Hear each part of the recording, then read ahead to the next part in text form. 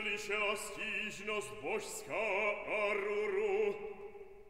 В pustině шире глините земи подобу дала отвар.